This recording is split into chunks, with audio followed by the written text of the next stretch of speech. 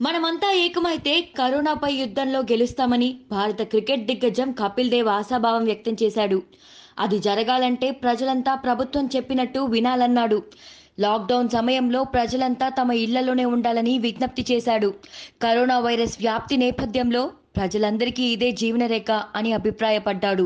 ప్రపంచ వ్యాప్తంగా వేలాది మందిని పొట్టన పెట్టుకున్న ఈ మహమ్మారిని కట్టడి చేసేందుకు ప్రభుత్వం ప్రకటించిన లాక్డౌన్కు కపిల్ మద్దతు తెలిపాడు. తాను కూడా ఇంట్లోనే ఉన్నానని చెప్పిన కపిల్ రకరకాల పనులతో సేద తీరుతున్నానని చెప్పాడు. మా ఇల్లు ఊడుస్తున్నా గార్డెన్ శుభ్రం చేశా.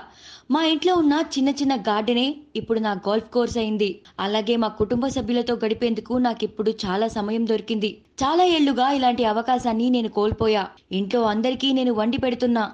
చాలా వంటకాలు చేస్తున్నా.